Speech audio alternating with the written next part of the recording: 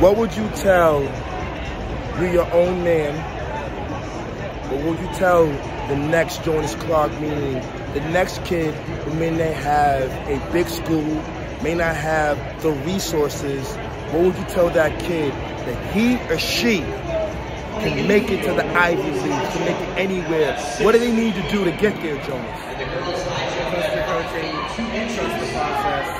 Um, the time to start showing and stay dedicated. I feel like that's something that, you know, I think everyone has to demonstrate. And, you know, no matter the resources, there is a way, you know. It might be a little harder than others, but there is a way. Ladies and gentlemen, this young man, as we get ready to get close up to the eight the miles approaching, this young man, if you're not familiar here in Massachusetts, South Hadley's two hours away.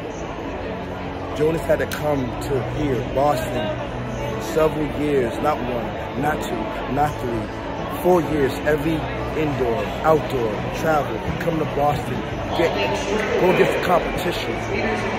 Had to wake up at all times of the hours, travel all around Western Mass just to get access to the track, just to work on his skip sets on the block. But Jonas, you graduated with the state record, I believe. 200 meter champion in the nationals outdoors. And most important, you're going to compete at a high level and you're going to graduate with a Harvard degree. That sounds like a win. That sounds like a win in my book. So I'm super proud of you, Jonas. Super proud that you showed love, that you are the man, and uh, Everton and all the boys are trying to chase that record. They're trying to chase that record. Everton, you know I'm talking to you. To chase that record. Carolyn Mason, let's go. Let's go. He can chase it, but church.